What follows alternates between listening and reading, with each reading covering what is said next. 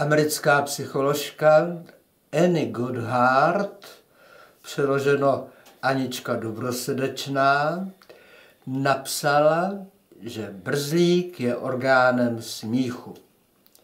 Jak na to paní doktorka přišla, to nevím.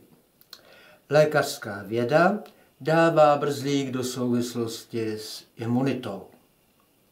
Tak či onak, pojďme si brzlík vesele ナマシロワット。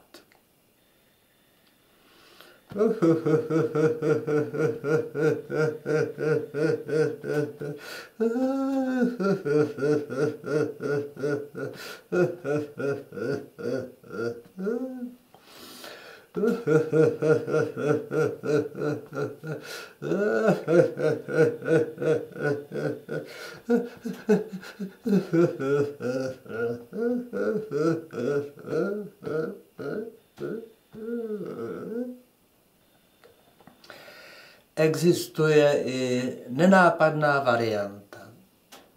Někam cestujete a tak se z dlouhé chvíle namasírujete jemně brzlík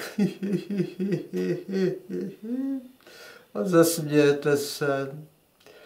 Někdo se vás zeptá, čemu se smějete a vy mu řeknete, ale to je brzlík. Jestli chcete, já vás to taky naučím.